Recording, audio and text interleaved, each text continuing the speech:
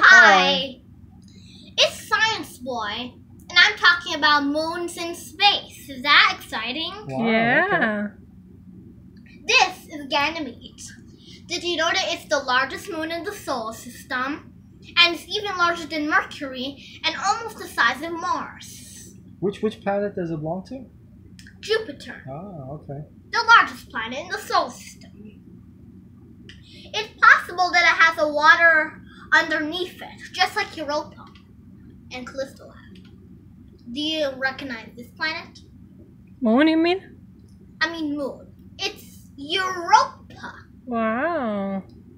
Do you know that it ha- actually has twice the amount of water o- of all oceans combined on Earth? Mm, Interesting. Does it have life? Uh, potential life? It has. It might have potential life.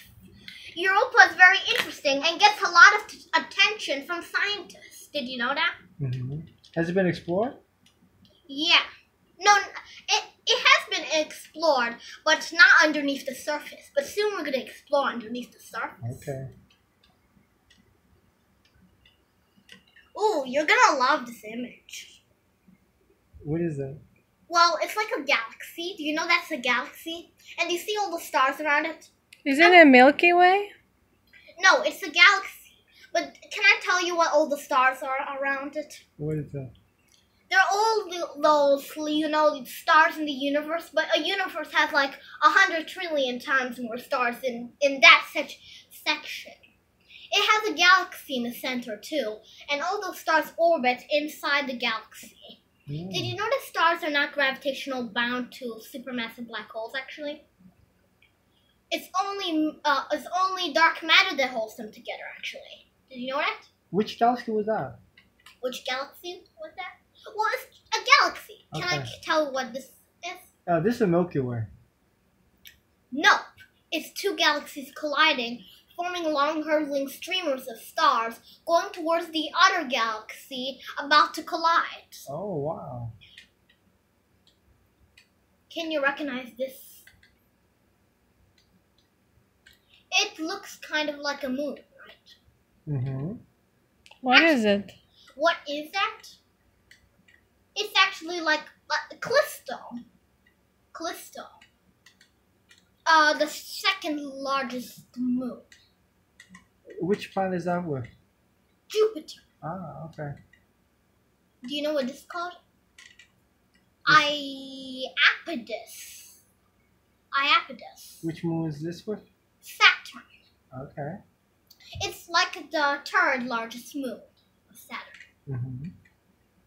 Do you know what? Do you know what this is?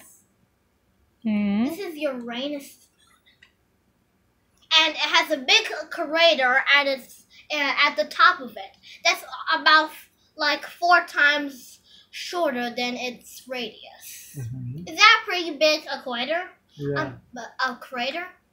Yeah, yeah. That looks very very icy. I think that's Saturn's moon. Do you know what a moon uh, of Saturn that is? No. Um, I think it's like, oh, Enceladus. It's another habitable mo- moon that has water underneath its surface, or in the form of ice. We should explore that too. Yeah. And are you interested in Ganymede, that moon? Mm-hmm. So I hope you enjoyed seeing these moons. All of these moons are all in our solar system. These are. Which very one do you like the best? Oh, of course. You know what? Which one I like the best? Ah, I love Europa because it's very interesting.